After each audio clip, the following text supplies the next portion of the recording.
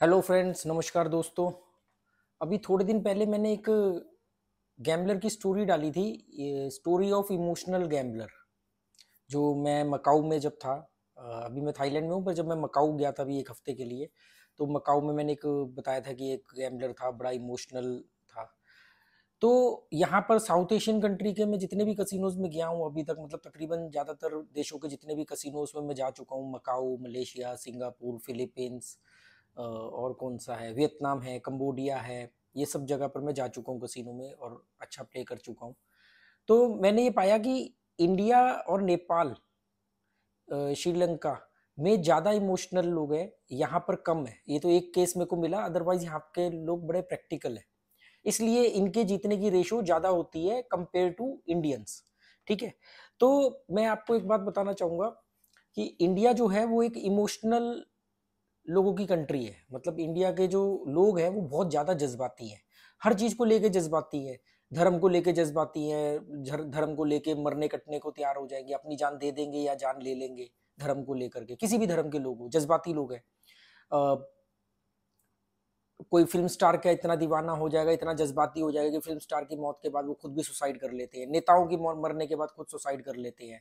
आपने देखा होगा। बात बात पर इनकी भावनाएँ ठेस हो जा, भावनाओं को ठेस पहुँच जाती है। बहुत इमोशनल टाइप के लोग हैं और ये वहाँ की अपब्रिंगिंग ही ऐसी है। मतलब बचपन से ही बहुत ज़्यादा जज्बाती होकर के रहना, भावनाओं को ज़्यादा कदर देना, ये सब करने के चक्कर में वो इमोशनल हो गए हैं। और अकॉर्डिंग टू मी, ये इमोशनल नहीं है, इमोशनल फूल है।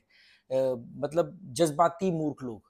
तो जब इस तरह के लोग, सभी नहीं, पर मैक्सिमम लोग 90 परसेंट लोग 80 टू 90 परसेंट लोग इमोशनल फूल है, या अगर आप थोड़ी सी इज़्ज़त देना चाहो तो इनको इमोशनल वीक कह सकते हो, पर मैं इनको इमोशनल फूल कहना चाहूँगा मुझे इसमें कोई दिक्कत नहीं है, ठीक है?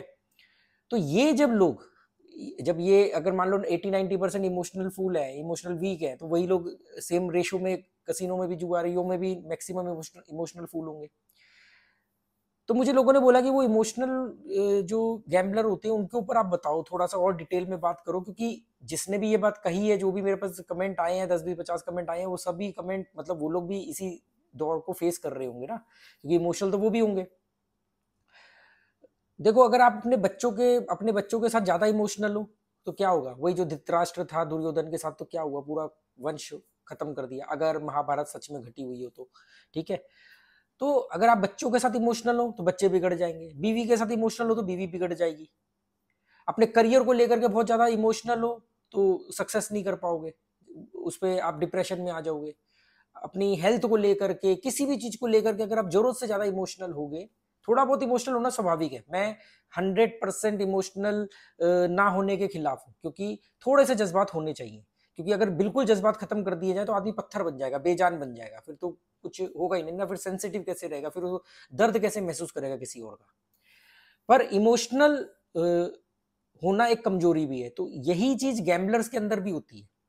ये जुए को लेके इतने ज़्यादा इमोशनल होते हैं क्योंकि इनकी बचपन से बनावट इमोशनल करी गई है। जज्बाती बना दिया गया इनको।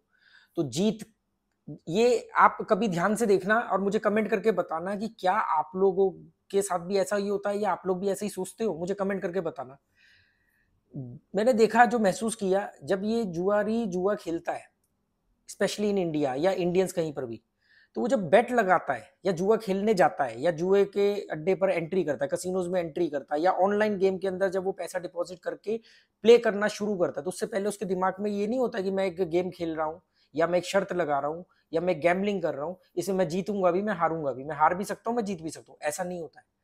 वो कभी आप देखना और मुझे बताना कमेंट करके कि आप लोगों के साथ भी ऐसे ही होता है कि जैसे वो कसिनो में एंट्री करेगा तो उसके दिमाग में पहले होता है कि आज मैं कसिनो में एंट्री कर रहा हूँ, आज मैं इतना जीतूँगा, ऐसे जीतूँगा, फिर मैं कल और जीतूँगा, परसों मैं और जीतूँगा, या आज ही मैं इतना बड़ा जीत जाऊँगा, आज मैं बड़ा पॉजिटिव हूँ, आज मैं जीत जाऊँगा, और जीतने के बाद मैं ऐसे करूँगा, मेरा कर्जा उतर जाएगा, ऐसे करूँगा, फिर उसको दिखाऊँगा, उसने मुझे ये बोला था ना, उसको साबित करके दिखाऊँगा मैं।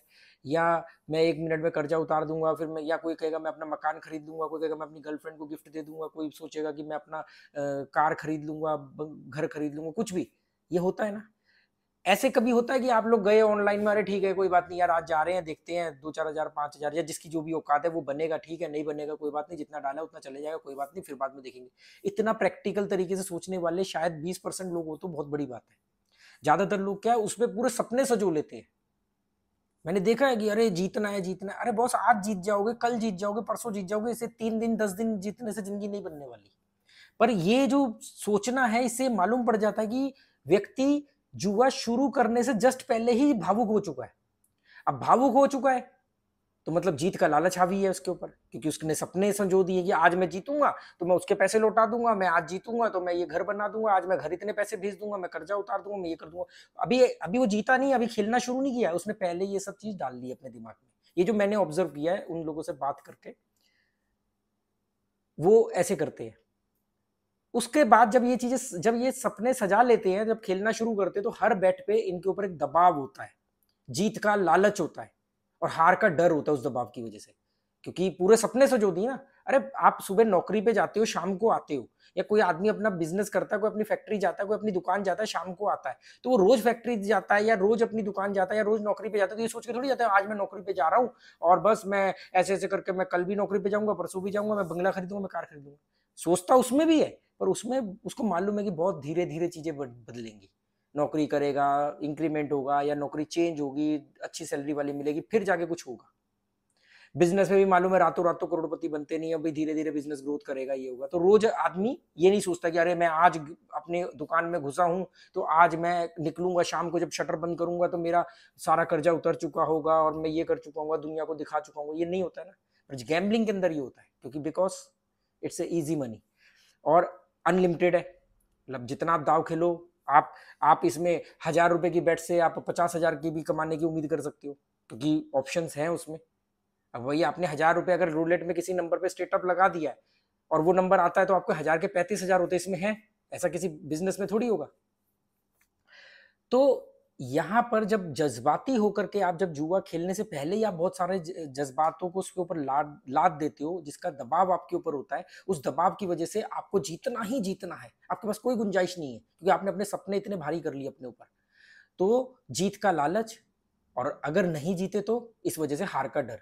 तो ये जो इमोशनल गैम्बलर होते हैं, जो तकरीबन एटी नाइनटी परसेंट है ये जीत का लालच और हार के डर की वजह से ही जूझते रहते हैं। जिस वजह से कॉन्सेंट्रेट नहीं कर पाते हैं अपनी गलतियों पर, अपने दोषों पर या अपनी गेम पर।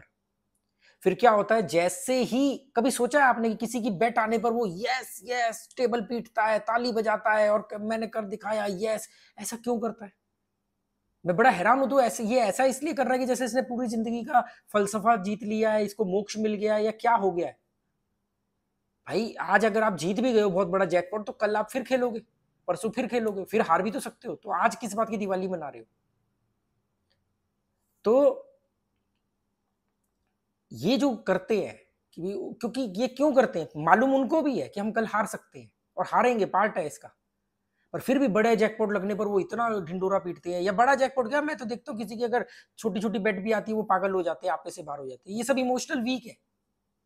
ये क्योंकि इनको लगता है अब हमारा, हम अपने सपने पूरे करने की तरफ़ एक कदम बढ़ गए।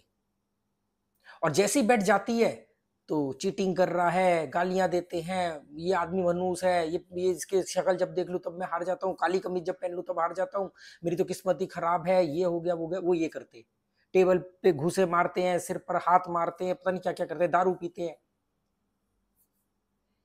ऐसा नहीं होना चाहिए। जैसे दुकान पे सुबह जाते हो, शाम को अपनी दुकान बंद करते हो बिज़नेस करते हो, कोई भी और काम करते हो, उसमें भी आपके सपने होते हैं, पर उसमें ऐसे सपने नहीं होते कि आज ही सब कुछ करना है, या आज ही सब कुछ हो जाएगा।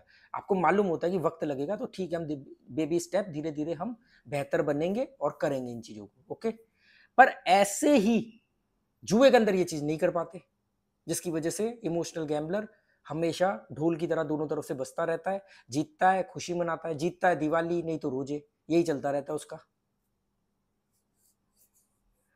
तो आपको ये समझना पड़ेगा कि इमोशन अपने इमोशंस को, अपने जज्बात को, अपनी भावनाओं को गैम्बलिंग शुरू करने से पहले बाहर रख दो।